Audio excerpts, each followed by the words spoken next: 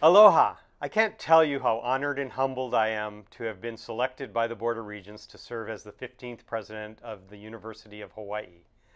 I've worked for the UH system since 1977, and I can honestly say I never aspired to or expected to be sitting here today.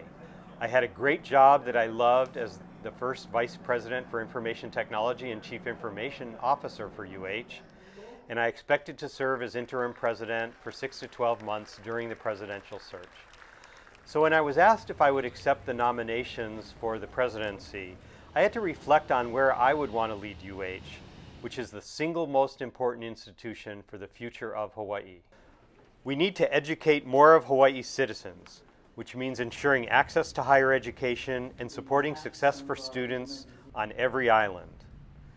We must work with the community to leverage our research and scholarship and intellectual capacity to anchor a billion dollar research and innovation sector in Hawaii.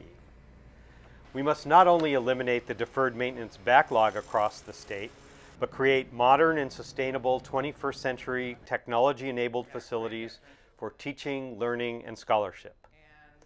We must continue to embrace best practices in how we do business with paperless processes that are accountable transparent, efficient, and effective.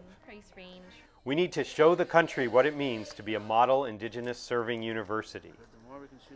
We need to manage our costs better, including with more sustainable practices, and we need to diversify our revenue sources beyond state and tuition, including with a bold and successful philanthropic campaign to support UH and the work we do every day. This is your last one Right here. and we must communicate relentlessly and positively about the great things we're doing while acknowledging the mistakes we make, fixing them, learning from them, and moving on.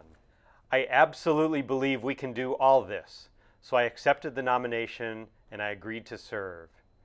Now it's time to work together to chart a path forward and get on with the hard work. Imua!